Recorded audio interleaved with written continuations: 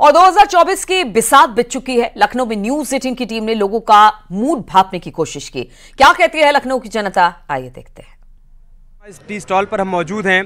क्या माहौल है चुनाव को लेकर? क्या चर्चा चल रही है? लोगों से बातचीत करेंगे और जानेंगे। हाँ जी भाई क्या नाम है आपका? राहुल। शर्मा टी स्टॉल पर चाय पीने आए हैं यहाँ हाँ जी। कब से आ रहे हैं यहाँ पे? मैं तो भी आज पहली बार आया हूँ सर मैं तो दिल्ली से आया हूँ अच्छा आप दिल्ली से आए हैं। तो अभी चुनाव को लेकर क्या माहौल चल रहा है दिल्ली में? माहौल तो गर्म है सर एज यूजल है? कौन आएगा? अब की बार आप बताओ कौन आएगा? भाई हम तो सर बीजेपी सपोर्टर हैं मोदी जी को सपोर्ट करते हैं अच्छा। क्योंकि हम वाराणसी से हैं और वो हमारे वहाँ के सांसद भी हैं। अच्छा मूलता बनारस से जी मूलता बनारस से हैं। तो आ, मोदी जी बनारस से सांसद हैं सपोर्ट करने का बस यही कारण है? नहीं नहीं सर मोदी जी को सपोर्ट करने का कारण सिर्फ़ ये नहीं कि वहाँ के सांसद हैं काम है। जो उन्होंने वहाँ पे काम किया है जो इंफ्रास्ट्रक्चर डेवलप किया है आज की डेट में जो वहाँ पर आज की डेट में रोज़गार के अवसर निकल करके आ रहे हैं उस वजह से हमारा सपोर्ट उन्हीं को जाता है। अच्छा बढ़िया काम हो रहा है बनारस बहुत बढ़िया काम हो रहा है सर बहुत बढ़िया काम हो रहा है। अच्छा अभी आप रुके रहिए कुछ और बातचीत आपसे करेंगे। ये गुलाब का फूल लेके घूम रहे हैं आप? जी जी हाँ? जी। और बात आप कमल खिलाने की कर रहे हैं। नहीं ये तो हम लोग हमारे बॉस लोग आए थे है ना? अच्छा। तो हमने मोदी का पैटर्न ही अपनाया है जो मोदी जी को बोले हैं कि ज़्यादा वो नहीं करना चाहिए एक सिंपल सा फूल अपने हाँ। गिफ्ट करना चाहिए। हाँ। तो वही पैटर्न हम अपना रहे हैं तो आप भी बनारस से जी हैं मैं लखनऊ से हूँ आप लखनऊ से जी जी तो अभी लखनऊ का मिजाज क्या कह रहा है? सर मोदी में है भाजपा में है और। तो जी जी बिल्कुल। काम बोल रहा है? बिल्कुल जगह जगह काम बोल रहा है। पहली बात तो योगी में है सबसे बड़ी बात है। हाँ। जो प्रशासन उनकी जो आपको मान लीजिए जो कानून व्यवस्था है मेन मुद्दा कानून व्यवस्था होती है है ना? सबसे स्ट्रांग है इस वक्त समझ लीजिए यूपी पूरे अगर वो इंडिया में देखेंगे तो मिसाल कायम है इसकी योगी मॉडल की हर आदमी तारीफ़ करता है। लेकिन अखिलेश जी तो कह रहे हैं कानून व्यवस्था ध्वस्त है।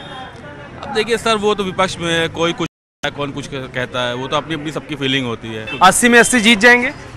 बिल्कुल।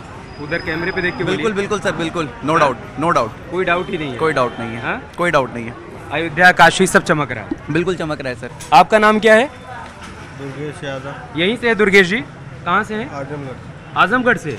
अभी आजमगढ़ में क्या माहौल है? निरहुआ जी को फिर से बीजेपी ने प्रत्याशी घोषित कर दिया। भैया हमको नहीं पता है सबके बारे में। इंटरेस्ट नहीं वोट तो करते होंगे। नहीं करते। वोट ही नहीं करते? नहीं। कभी नहीं किया? कभी नहीं। क्यों? करते नहीं अभी मेरा बना ही नहीं तो। आपकी उम्र क्या है? मेरी तो अट्ठाईस साल है।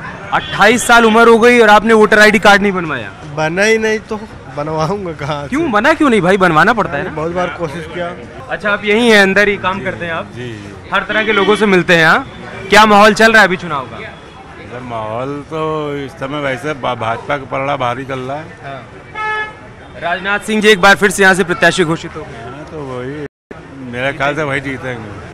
कहाँ से हैं आप? आजमगढ़ से। आजमगढ़ से हैं? तो अभी आजमगढ़ में क्या माहौल चल रहा है? सब भारतीय जनता पार्टी। हाँ। दिनेश लाल यादव निरहुआ एक बार फिर जीतेंगे। एकदम एकदम। एकदम। और अखिलेश जी अगर उतर गए वहाँ से तब? वही उतरा अखिलेश जी क्या किए बताइए। हाँ।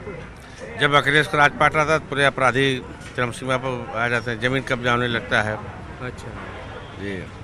तो वो तो कहते हैं कि आजमगढ़ हमारी परंपरागत सीट है आजमगढ़ के लोग हमारे अपने हैं। क्या परंपरा रहती तो वही दो बार भारतीय जनता पार्टी लोकसभा चुनाव जीती है। कैसे उनको माना जाए? अभी लोकतंत्र है ना? लोकतंत्र में जनता निर्णय लेती है कि अखिलेश यादव निर्णय लेंगे। आप भी मानते हैं कि अभी आ, देश में और उत्तर प्रदेश में राम राज आ गया भाई साहब? बिल्कुल। हाँ? बिल्कुल। अच्छा। ये हमारे कई सौ पीढ़ियों का संघर्ष रहा है। और लोग भावुक हुए जब राम मंदिर की स्थापना हुई। प्राण प्रतिष्ठा का कार्यक्रम हुआ प्रधानमंत्री जी उपस्थित थे। ये तो सौभाग्य रहा।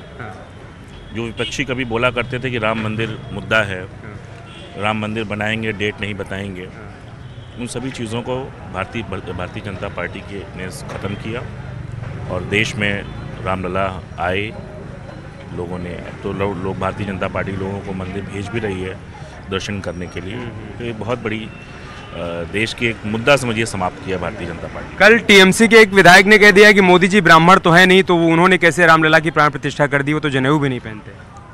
अब अगर इन्होंने ये बात कही मेरे तो संज्ञान में है नहीं। ऐसी बात अगर कही तो यह तो बिल्कुल गलत है निराधार है। अ, ये कहना भी उचित नहीं है। ये शिक्षित ब्राह्मणों का कोई क्या बोला जाए? भाई ब्राह्मण तो पूजनीय रहे ही हैं। कर्म से ब्राह्मण होना चाहिए। हाँ कर्म से ब्राह्मण होना से चाहिए बिल्कुल। चलिए कुछ और लोगों से बातचीत करते हैं और जानते हैं कि आ, क्या चुनावी माहौल चल रहा है। भाई साहब कहाँ से हैं? सर जी हम तो बनारस से हैं मोदी जी के हैं। जी जी जी। अभी क्या माहौल चल रहा है बनारस में? बनारस तो सर जी हमेशा से मोदी में रहा है। मोदी में रहा है जी हाँ। क्या कारण रहा है मोदी में रहने का? कारण सर जी जो पिछले आ, कम से कम 2014 से जो वहाँ पे डेवलपमेंट हुआ है जो वहाँ पे विकास हुआ है। सारी चीज़ों में बदलाव आया है कह सकते हैं कि आप हॉस्पिटल से लेके रोड इंफ्रास्ट्रक्चर तक और बाकी जो विश्वनाथ जी का टेंपल है वो तो भाई आराध्य देव है उनका तो होना चाहिए। इसके आप देख रहे हैं न्यूज़ 18 उत्तर प्रदेश उत्तराखंड।